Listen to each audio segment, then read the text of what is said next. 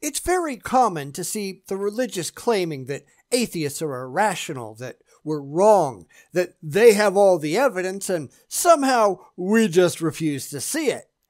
And it's funny that the second that we look at their claims, their supposed evidence, none of them actually stand up to any kind of critical evaluation, right? So let's go and do some more of that, and I've got the perfect video for you.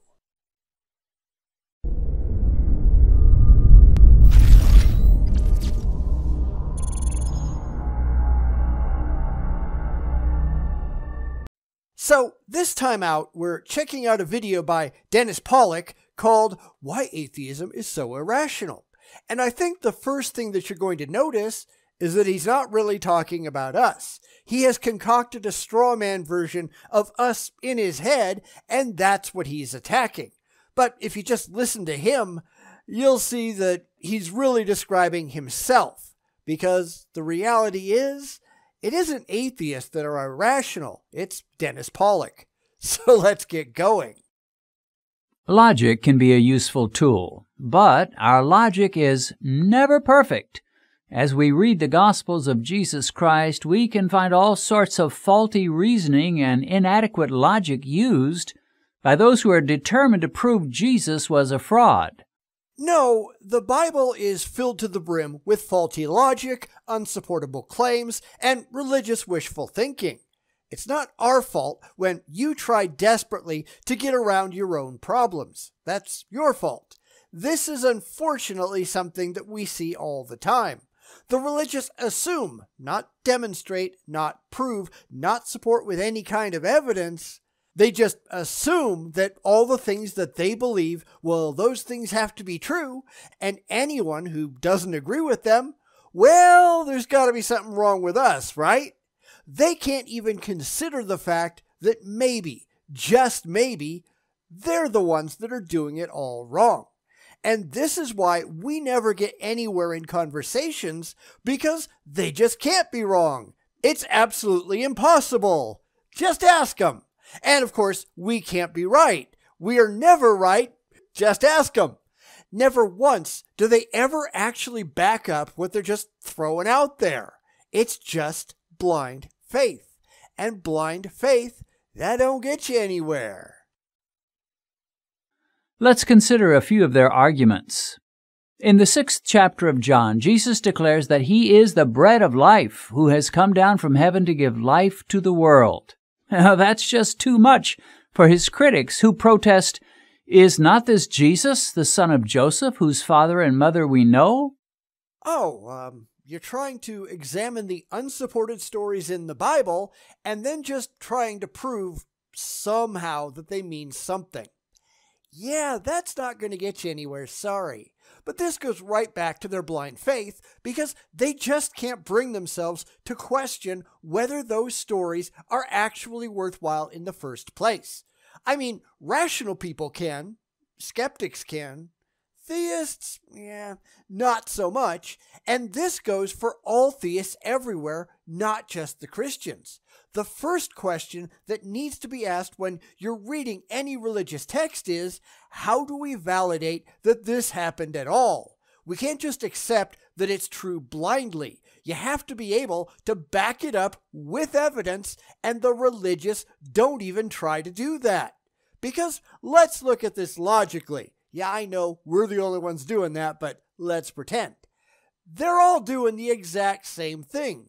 The Muslims are doing it with the Quran. The Christians are doing it with the Bible. The Hindus are doing it with the Vedas and all the other books that they have. And every group thinks that all of the other groups, the other groups that are doing the same damn thing that they are, somehow they're all doing something completely wrong while proclaiming that they, and only they, are right. Now, how does that work exactly? Somebody please explain. How is it then that he says, I've come down from heaven?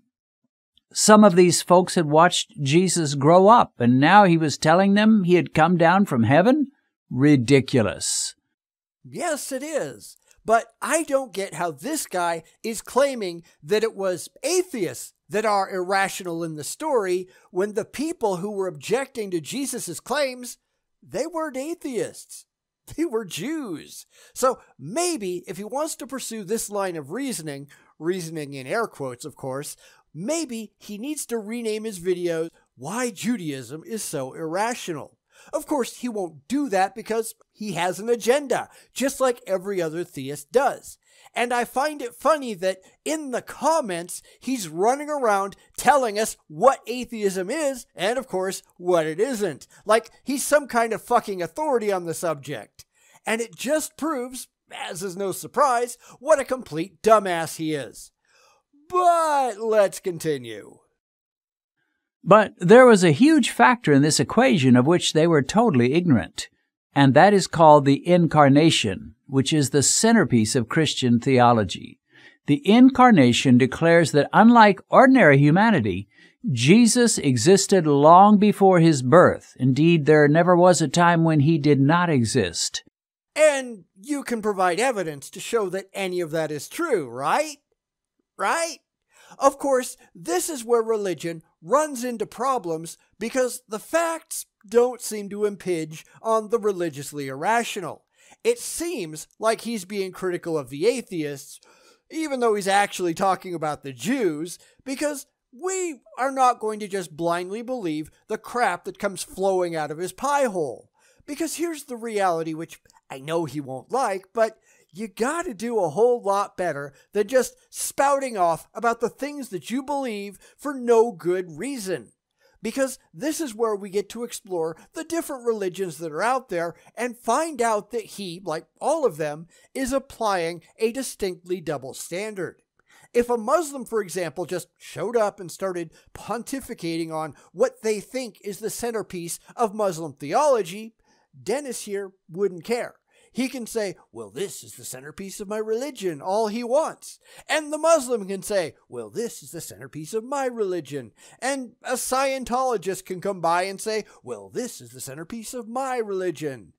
Yeah, prove it. I'm just going to tell all of them to go take a flying leap because all of them are coming to the table with nothing but their own blind faith, and faith isn't impressive. Faith doesn't get you anywhere. You people need to get the hell over yourselves. God became a man and entered his creation. The Jews who ridiculed and scorned the idea of Jesus coming down from heaven to give life to the world knew nothing of this, of course, and it is impossible to come to right conclusions when all the facts, especially the most important ones, are unknown. So, wait a minute. He actually does know that those were Jews and not atheists, which makes me wonder what the hell that he's going on about. But I'm betting we're going to get to the end of the video and still be wondering about that. But as I said, here he is making entirely unsupported claims based on nothing but blind faith, and there isn't a fact to be seen anywhere. And of course, these people don't know what a fact is any more than they understand the meaning of evidence. So let's go to the dictionary and help them out and find that a fact is a thing that is known or proved to be true. Known, proved, not simply asserted, not simply claimed, proven. Yet the religious are utter rubbish at that, aren't they? Mostly because, as we know, they just don't care. This is all about their fifis, and it isn't at all about the facts, and they just use the words without knowing or caring if they've actually got a clue. Because unfortunately for them, they just don't. Another time, Jesus told his audience, Unless you eat the flesh of the Son of Man and drink his blood, you have no life in you. If Jesus, being the bread from heaven, gave them problems, this was worse still. They asked, How can this man give us his flesh to eat? He couldn't, and he didn't, and the church just made shit up because they were desperately trying to keep with the religious gobbledygook and not actually critically evaluate any of it. Lots of different denominations just interpreted it all in different ways because it's really a statement with no inherent meaning.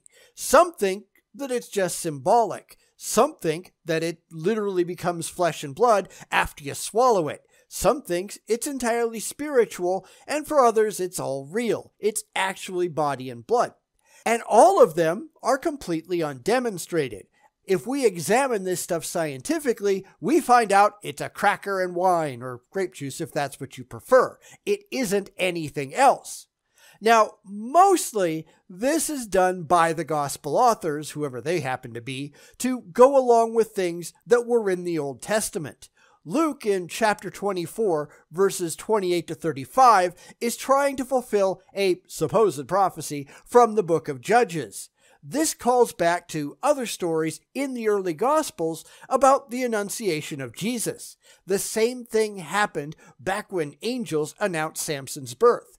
The religious like to take these stories literally, and there's absolutely no reason to do so. Whoever wrote the Gospels, they were just trying to build upon the ancient tales of the Jews that were floating around out there and everybody knew people were looking for the Messiah. And the gospel writers, again, they were anonymous. We don't know who they were, but they were trying to make it look like it was Jesus. And all of this is just stolen crap. Many who had been following him returned to their homes and refused to follow him any longer. Anybody saying such crazy things surely could not be the Messiah. But Jesus was not talking about literally eating his flesh. However, he made no attempt to straighten out his critics. We learn something about the nature of God in this incident. No, we learned something about how ancient peoples looked at their own religious practices. This stuff wasn't real. It was symbolism meant to appeal to primitive people who just didn't know any better and who didn't have the capacity at the time to ask intelligent questions. That hasn't changed much in the last 2,000 years, has it?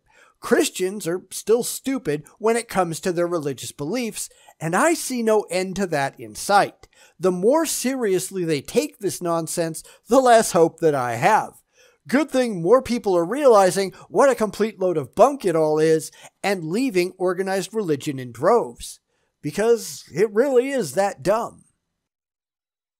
God does not feel obligated to make everything plain to us.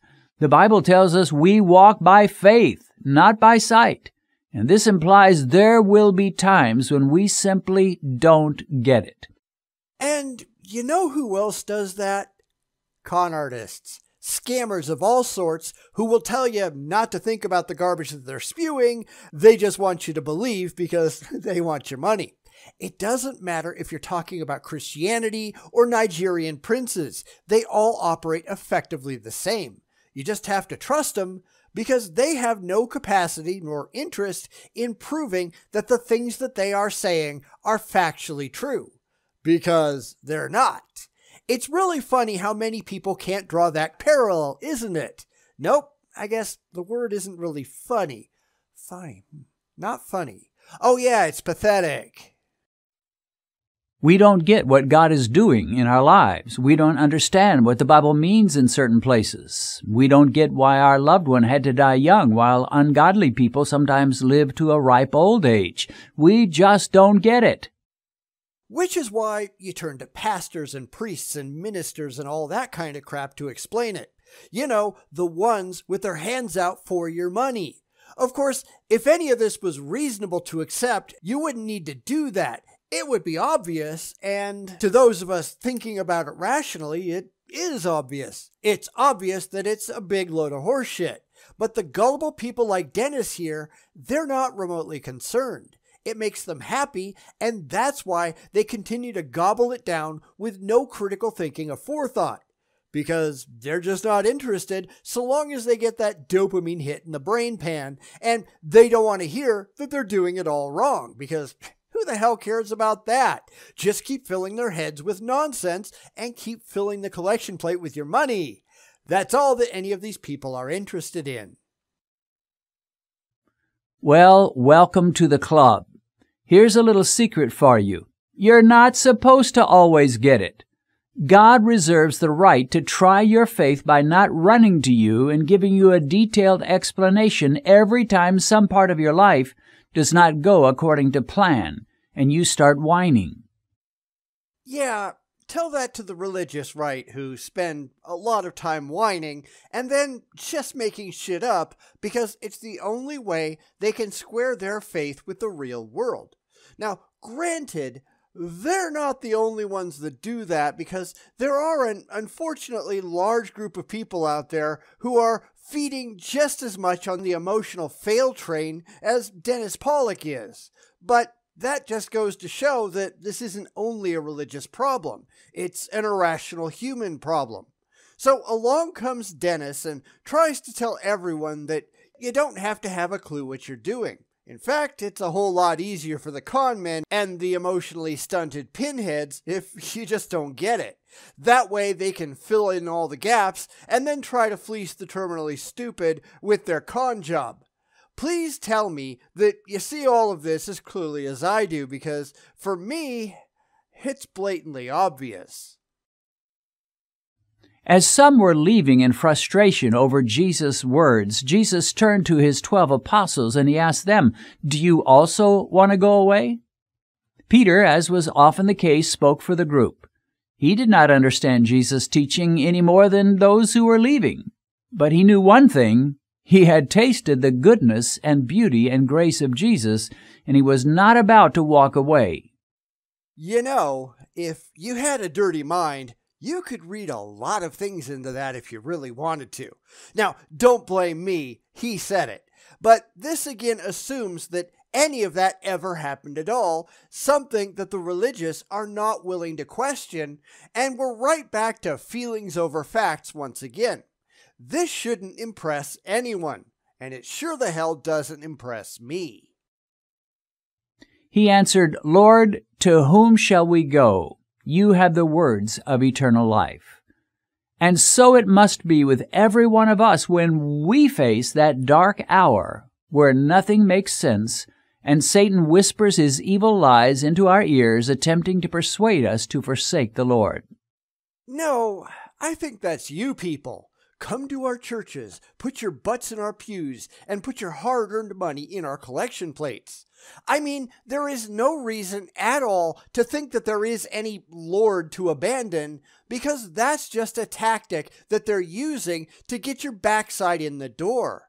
They don't want you to ask any questions. They don't want you to have any doubts. It's pure faith and nothing but. And I'm sorry, but I'm just not stupid enough to rely on blind faith. That's you people, and maybe you ought to be better. Because this reminds me, just this morning, I was listening to the radio in bed, and there was a commercial that came on for a church. They're always for churches because the churches are in desperate need for anybody to come in, sit down, and hand over their hard earned money. And this is another case where they're just going, Please, we need you to come back. Please, when you're ready, we're here with our hands out and nobody on the religious side can see what's going on. In the seventh chapter of John, some felt they had a sure argument against Jesus being the Messiah. They protested, Will the Christ come out of Galilee? Has not the scripture said that the Christ comes from the seed of David and from the town of Bethlehem, where David was? Yeah, and this is yet another place where the gospel writers just grabbed things that were well known from the Jewish scriptures and tried to stuff Jesus into them. Now, I could go into a lot of detail on this, on the hows and the whys and what likely went on, like the fact that Micah 5 2 doesn't actually say that the Messiah will come from Bethlehem. It actually refers to Bethlehem Ephratah, a tribe of ancient Hebrews. And then the author of Matthew quoted it, and I use that word very loosely, and he conveniently forgot the second part and tried to make it into a town. Well, it was never a town. Further, if you just read Micah 5 in context, it's clear that the tribe will bear a great military leader, and in verse 6, that leader will lay waste to the land of Assyria.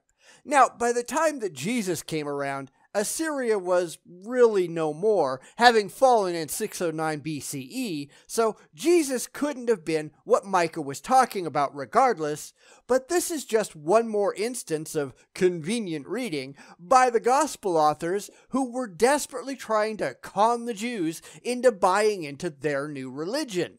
It was blatantly false. There was no prophecy. There was no fulfillment, but, you know, Modern Christians, they just don't care. It was well known that Jesus grew up in Nazareth, a sleepy little village in the Galilee region. But every knowledgeable Jew knew Micah's prophecy, which announced that Bethlehem would be the city from which the ruler in Israel would come forth. Surely this was unmistakable evidence that Jesus could not possibly be the Messiah. Now, I'm going to stop you right there and remind everyone that the name of this video is Why Atheism is So Irrational. He even capitalized atheism and irrational, yet he hasn't spoken about anyone but the Jews who are not atheists. I shouldn't have to keep pointing this out, but it just proves how asinine this jackass really is. He doesn't know what atheists are, as evidenced by his absurd comments below his video. He doesn't know what the Jews were because of course he doesn't. And he's just buying into the religious bullcrap in the Bible, hook, line, and sinker, because it makes him happy. And these people wonder why we laugh at them. Okay, try to work that out and get back to us. We'll wait. These critics were both right and wrong. It is true Jesus grew up in Nazareth, but what they did not know was that Jesus had been born in Bethlehem.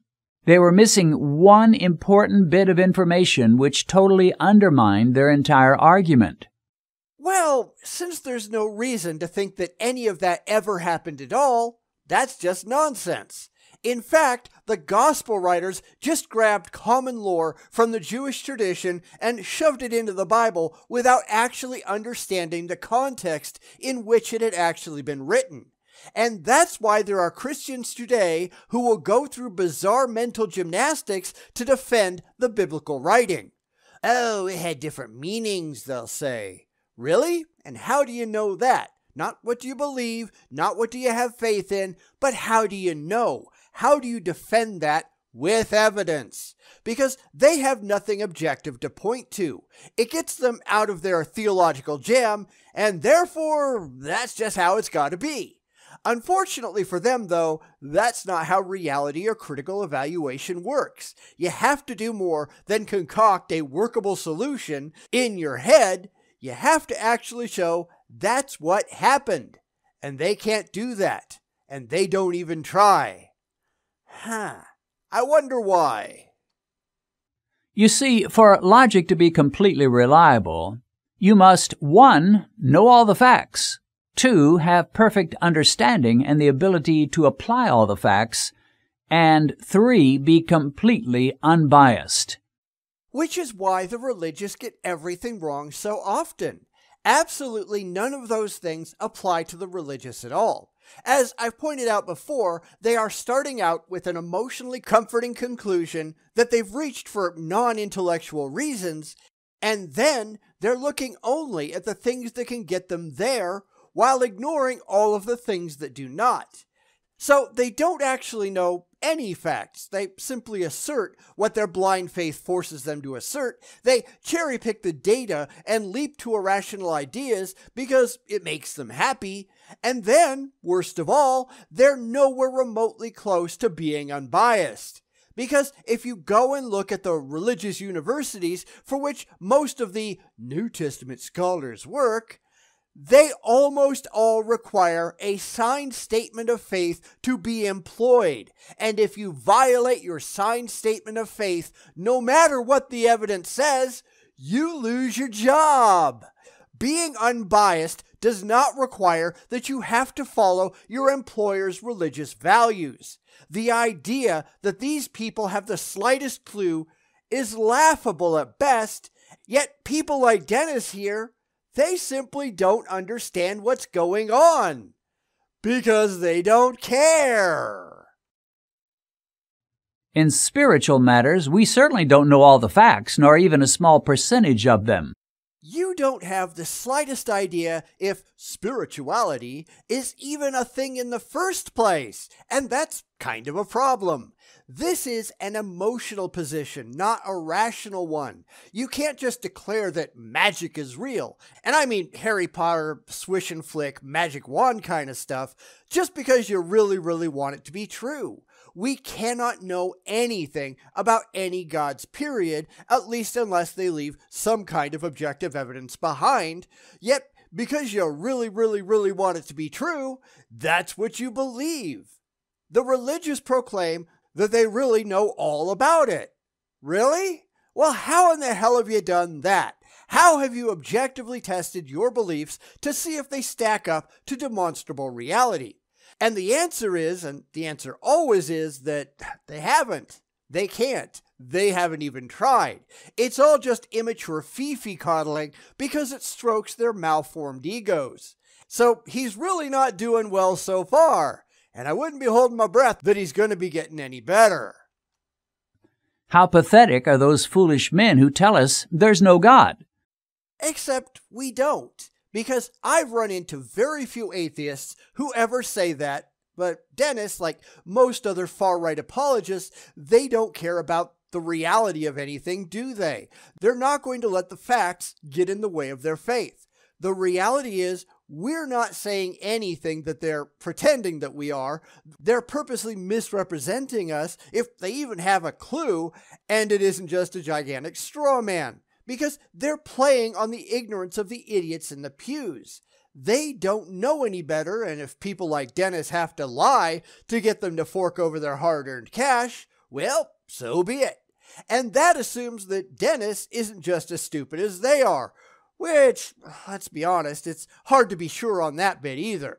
Religion is often the blind leading the blind, right up to the people holding the sharp sticks and poking everybody's eyes out.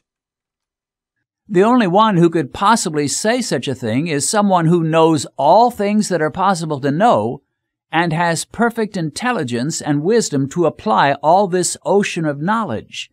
And if you fit that bill, you would be God yourself. No, we're just pointing out that you can't do any of the things that you're doing rationally.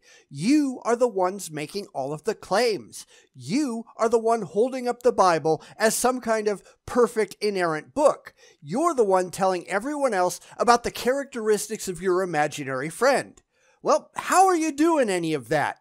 How can you prove that any of the claims that you're making, how do you prove that those things are actually true? And the answer is you can't. You're calling everyone else ignorant as a means of getting around your own stupidity. We're just asking you questions that you can't answer, and because you can't, you're just trying to shift the burden of proof so you don't spoil your free buffet. It's like these people are looking in the mirror and thinking they're looking at somebody else. No, you're just describing yourselves. Knock it off. Nor are we without bias. Jesus tells us that light has come into the world, but men prefer darkness over light because their deeds are evil. And you're still talking about yourself, Dennis. I mean, beyond the fact that you're taking anything in the Bible seriously, which is a problem, but then you pretend that it applies to us when it applies far more accurately to yourself. Seriously, how is this any different than proclaiming petulantly, I know you were, but what am I? And when we point out what you're doing wrong, and you're doing an awful lot wrong if you notice, you just ignore it and pretend that we're the ones with all the problems. It's ridiculous, but then again, so too is religion. Ungodly men find it much too inconvenient to accept the idea of a personal God who will hold us accountable at the day of judgment. Far better to go through life pretending there are a thousand and one different reasons why Christianity and the Bible itself could not possibly be true. No, we only need one. You've got zero evidence whatsoever to support your claims. You are full of shit, but when we point that out, you just don't want to hear it. You're too busy playing make believe, and it's about time we stopped coddling the dumbasses of the world and started telling it like it is. We don't care about your feelings. Nobody should care about your feelings. We should only care if the shit in your head is actually true. I don't care if you feel insulted by the real world, Dennis. Nobody is here to make you happy. We're here to hold you accountable, and that's something that you and your ilk positively refuse to allow to happen. Because you are scared of us. You're scared of reality. If you actually had to deal with the facts, all of the facts, and not your feelings all the time, you wouldn't know what the hell to do with yourself. And that's kind of sad. This is why the religious have so many problems, and it's why they absolutely refuse to talk to us on a rational, adult, back and forth basis. They certainly refuse to listen to us. You know, they'd rather talk about us. They'd rather pretend they know what we're like when clearly they don't, but they won't sit down and actually have an intelligent conversation. And when one side just won't listen, it's kind of hard to have any kind of rational conversation, isn't it? Sometimes logic is utterly insufficient, and the only alternative is discovery that comes through faith. Yeah, not so much. This is where the religious turn off their logical and critical thinking brain and just go with emotional stupidity. You have not proven anything. Ever, at least when it comes to your religious beliefs. You are so brainwashed by your religious stupidity that I don't know that it's possible to have a critical conversation with these people, and trust me, I've tried. I mean, most of them are, but the Bible, but the Bible, but, but, but. Yeah, okay, whatever. Have you been able to back up the claims of the Bible critically and rationally and with evidence? But the Bible, yeah, it goes around and around and around in circles, and they never get anywhere close to being rational. The Bible says, Oh, taste and see that the Lord is good. Open your Bible and read of God's goodness to us in Jesus Christ. Come to Christ by faith. Open the door of your heart and you will find all kinds of spiritual riches and blessings and eternal life that are freely given you in Christ Jesus. Sure, right after you prove that any of that bullshit that you just spouted makes any kind of rational sense and can be defended with objectively verifiable evidence. Go ahead, now, of course, he can't, and I think he knows it. I hope he knows it. I hope he's not that dumb. Which is why all of them rely on blind faith and overactive fifis, because this really isn't about reality. It's about ego. It's about stroking your fifis. It's about wanting desperately to have power and influence and be in on the secret that they'd all like to believe that they have, which they can't prove that they actually have. And that's something I've pointed out before, but perhaps not recently. It's a common emotional trope that they share in common with conspiracy theorists. They get a buzz thinking that they're party to an amazing secret that nobody else knows. It's where they get all these stupid secret societies and why Christianity started off as a mystery religion. Oh, we're special because we know the truth. And then they realized that just knowing the truth doesn't make them any money, so they went out to try to convert everybody else to the truth, and then say, Give us your money because you know the truth now. And that's kind of sad when you think about it. So, anyway, what do you think of all of this? Did Dennis have anything intelligent to say? If so, would somebody please point it out to me in the comments because I must have missed it. Really, what is wrong with these people? It is so simple to see where they're going sideways, at least simple for us, but virtually impossible for them. And why is that? Oh, right, because they just don't give a damn. And that's really a pathetic way to live your life. I would never, ever, ever want to be that way. I did that once. I am eternally grateful that I will never be that way again because I could never, ever be that fucking stupid ever again. And maybe it's time for these people to knock it the hell off.